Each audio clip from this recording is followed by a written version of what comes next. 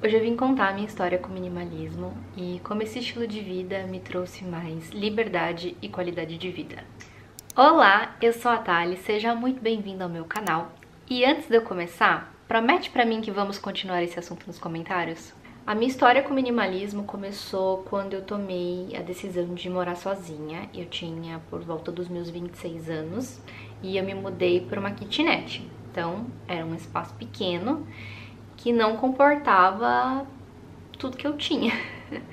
Porque como eu saí da casa da minha mãe, eu tinha apenas o meu quarto, né? E naquele espaço, que era um quadrado assim com tudo, eu tive que colocar outros ambientes a não ser o meu quarto. Então tinha é, a cozinha, tinha a sala, tinha meu cantinho de estudos. E eu tive que fazer caber tudo em um pequeno espaço.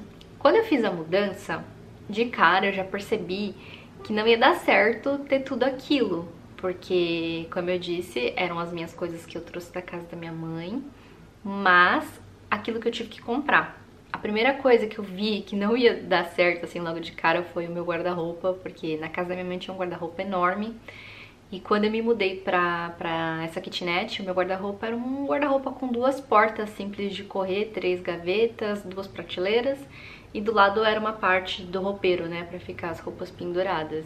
Eu me mudei, eu lembro que eu fui com duas malas grandes, assim, cheias de roupa e mais oito caixas.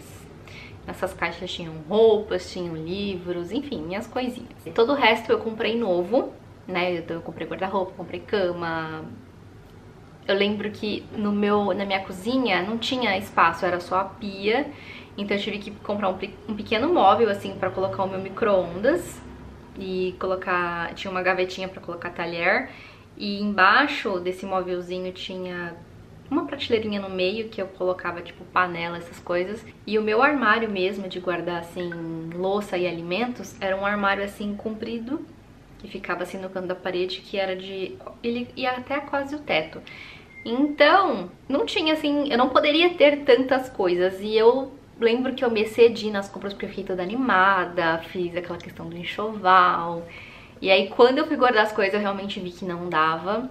Mesmo assim eu consegui encaixar tudo, só que aquilo ao longo do tempo começou a me incomodar. Por quê? Porque meu armário é, de louças e alimentos nunca parava organizado, meu guarda-roupa nunca ficava organizado, eu tinha aquela sensação, sabe quando você entra em casa que tem tanta coisa assim que te dá até uma um cansaço. E aí eu comecei a perceber que essas coisas estavam me incomodando.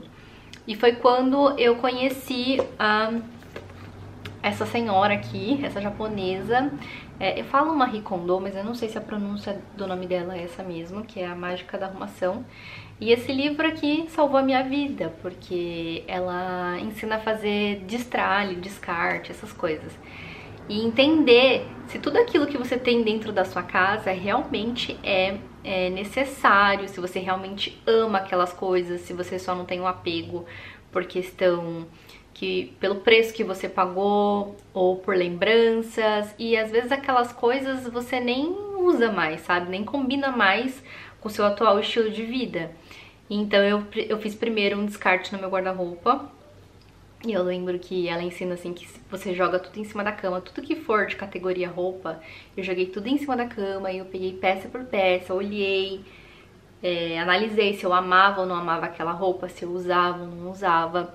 E aí eu fui criando pilhas, né? A pilha que ia voltar pra dentro do, do guarda-roupa, a pilha que ia ser doada e a pilha que eu ia tentar vender, porque eram peças muito boas, com valor assim que eu lembro que eu não tinha pago barato. E aí eu decidi fazer um bazar entre as minhas amigas e eu vendi todas as minhas peças por um precinho assim super baratinho. Lembro que tinha peça por 20, 15, 30 reais. E aquilo, fazer aquilo me deu uma paz, porque toda vez que eu abri o meu guarda-roupa, eu conseguia, tipo, visualizar o que eu tinha. Ficaram realmente só as peças que eu usava, as peças que condizia com, a, com aquele meu atual estilo de vida. E foi muito bom ter feito aquilo. Deu uma paz assim no meu coração que olha, eu recomendo você a fazer isso. E se você já fez, me conta aqui nos comentários se você sentiu essa paz também. E aí eu passei para outras áreas ali da minha casa, aquele armarinho meu compridinho, eu também acabei descartando coisas. Eu lembro que eu tinha comprado taças de sobremesa e eu nem usava. Eu acabava sempre usando a minha caneca mesmo do café para colocar sorvete ou frutas. Então eu comecei a descartar tudo aquilo que eu não via sentido mais ter na minha casa e também foi muito bom, porque eu mantive poucas coisas, a minha casa passou a ser mais organizada comecei também a fazer uma despoluição do meu ambiente, comecei a tirar coisas, tentei deixar as coisas assim com, com umas cores mais neutras. E eu fui percebendo que a minha qualidade de vida ali dentro de casa começou a ficar bem melhor. E junto com a decisão de morar sozinha também veio a responsabilidade com a vida financeira. É, por eu ser solteira, morar com a minha mãe, o meu salário meio que era para mim, para as minhas coisas, cartão de crédito, viagem, estudos. Então, eu me vi ali naquela situação que eu tinha contas de adulto para pagar água, luz, é, internet, condomínio. E eu precisava honrar aquelas contas todos os meses. E aí eu tive que reduzir os meus custos, né? De, de vida de solteiro também. Então eu já passei a, a, sair menos. E aí, por sair menos à noite, eu comecei a ter mais qualidade de vida nos meus finais de semana. É, eu comecei a trocar, sabe? Passeios, ao invés de, sei lá, sair à noite, beber e chegar em casa destruída e passar o resto do dia jogada na cama, eu troquei passeios. Então eu ia a restaurantes, eu ia no cinema, passei a ser uma frequentadora de cafés, eu me tornei uma senhora. E tudo isso foi melhorando a minha qualidade de vida, porque eu percebi que, que eu não era aquela pessoa que eu era quando eu morava na casa da minha mãe, sabe? Eu só tava meio que seguindo uma multidão. E aí quando eu comecei a passar mais tempo sozinha, mais tempo comigo mesma, porque assim, eu chegava em casa, eu lembro que não tinha ninguém para conversar. E aí eu ficava pensando muito, né? E aí eu pensava, pensava, pensava, e aí você acaba querendo ou não se conhecendo mais, entendendo o que você gosta, o que você não gosta.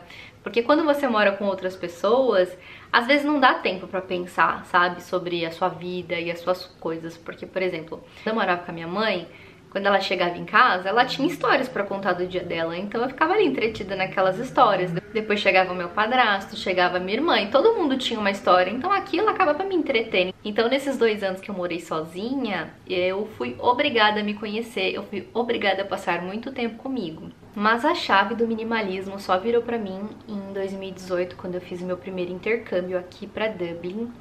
E eu lembro que eu vim com duas malas despachadas de 23 quilos, mais uma malinha de mão, mais uma mochila. Eu fiquei aqui oito meses e mais dois meses é, em Portugal. E em todo esse tempo, se eu falar pra vocês que eu sobrevivi apenas com metade de uma mala. Uma porque, assim, eu fui morar em um estúdio, tem até tour desse estúdio aqui nesse canal, se vocês procurarem é, vídeos mais antigos, tem tour desse estúdio. E o meu armário também era um armário só de duas portas. Só que eu vim morando com o Henrique, né? Então não era um armário só pra mim. Então metade era meu, metade era dele. E aí eu tive que fazer uma seleção. Então eu deixava as roupas ali no armário que eu ia usar. E todo o resto ficava dentro da, da, da mala, embaixo da cama ou em cima do armário. E aí foi quando eu conheci o projeto 333, que é você sobreviver, basicamente, três meses com 33 peças de roupas. E eu vi que super dava, eu até me desafiei, fiz, até porque eu vim numa época de muito frio, então meio que você só usava roupa de frio. E 33 peças era o suficiente, eu também não tinha como colocar mais do que isso também dentro do meu armário. Então eu aprendi a ser minimalista na força no meu intercâmbio. E quando eu voltei pro Brasil, depois desses 10 meses morando fora, eu levei muita coisa assim pra vida, sabe?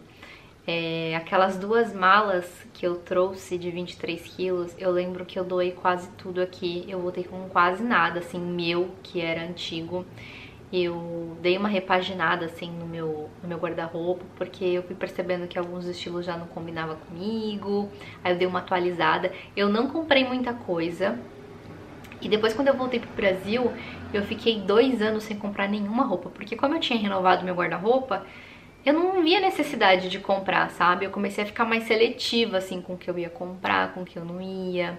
Porque no passado eu era uma pessoa que, tipo assim, batia o olho, gostava, comprava. E aí, às vezes, eu acabava enchendo meu guarda-roupa com peças que não conversavam entre si.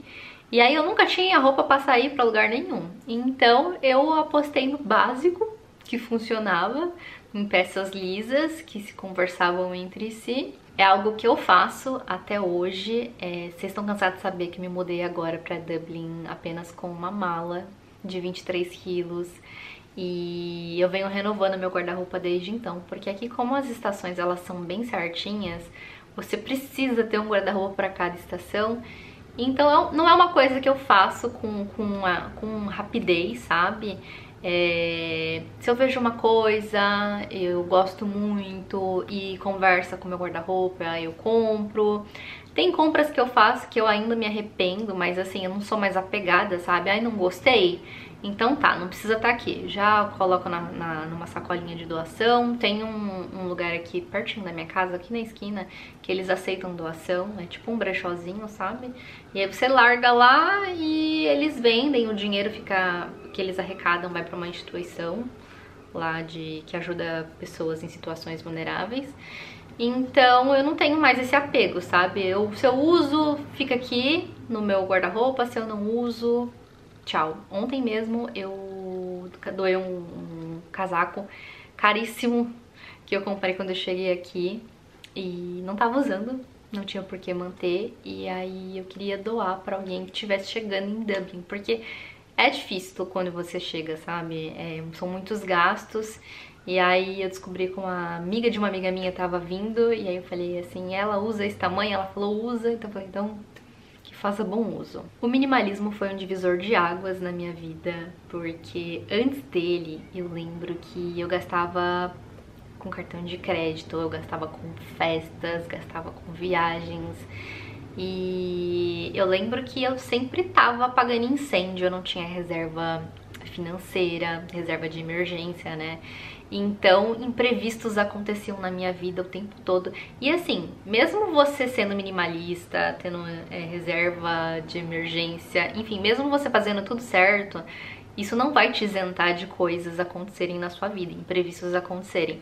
Só que eram uns imprevistos assim muito bestas, sabe? Por exemplo, é, eu não tinha reserva de emergência, então eu ficava presa naquele emprego que eu não gostava. Eu não conseguia guardar dinheiro. Por quê? Porque meu dinheiro sempre estava preso no cartão de crédito. Eram coisas assim que eu comprava, ficava feliz na hora, mas aí quando eu chegava em casa já perdia o sentido, eu já encostava, aí ficava lá por meses eu não usava. Aconteceu várias vezes. O minimalismo me fez entender que existia paz na ordem, sabe? E quando eu falo é, paz na ordem, é na ordem do básico, que é ordem nas minhas finanças, ordem na minha vida, ordem na minha rotina e tudo isso me trouxe qualidade de vida. E por último, é, nessa minha caminhada com minimalismo, eu também aprendi que não é sobre quantidade, é aquilo que funciona para você. Eu não tenho esse peso no coração de comprar as coisas, sabe?